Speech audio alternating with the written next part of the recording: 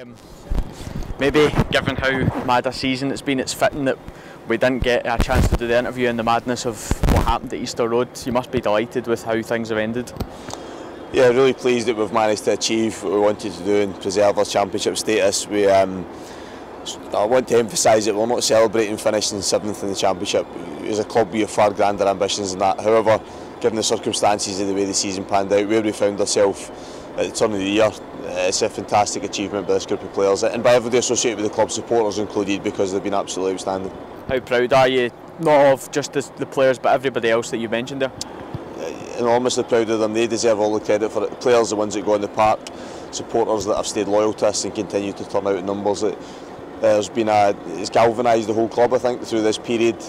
Um, we've shown how strong we can be when that comes together, and it's about then building on this momentum, building on the feel-good factor that's around it, and carrying that into next season and, challenging it at the, the, the, right end of the table. And I suppose in, in some respects the hard work now starts now to get players signed up.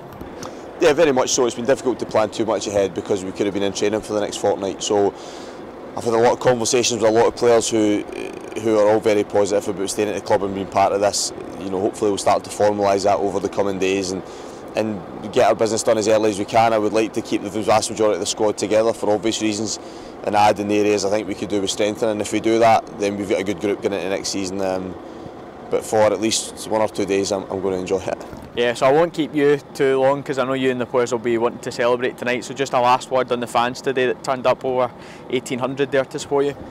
Big thank you, uh, and I hope they feel as if we're giving them their club back. Um, and this is only the starting point for me. And you know, until I've got the club back to where I think it should be, then that's when I'll be satisfied with the job.